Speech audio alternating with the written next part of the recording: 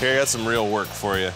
Um, remember that William Wallace sword we were talking about? Yeah, yeah. You know who William Wallace is? Freedom. The, or, that's all I think of. We only have one picture of the Wallace sword, and I can't really tell what's going on with the hilt. Uh, so I'm gonna need Nate to do some drawings for me and fill in the blanks a little bit. And hopefully his drawings are better than his impersonations. Freedom. Well, that was a little more Arnold Schwarzenegger. oh yeah, yeah. The same difference though. Freedom. Freedom. Give these people freedom. All right. So we're having a little bit of uh, kind of difficulty figuring out what the top of the hilt's gonna look like.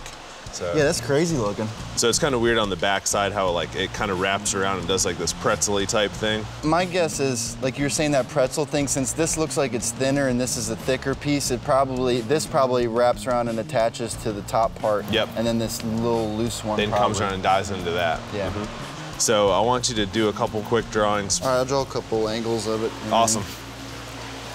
In my brain, I can look at an image and I can turn a three-dimensional image in my head. I pick up on everything, every little detail.